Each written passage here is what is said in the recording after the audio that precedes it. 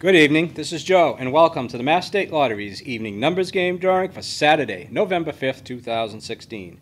Don't forget to log back on tonight for the Mass Cash, Megabucks Double, and Powerball drawings later this evening. And now, let's check out those winning numbers.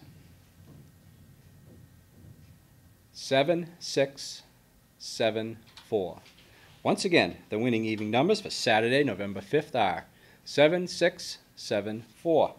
Remember to log on to masslottery.com to watch all of our drawings.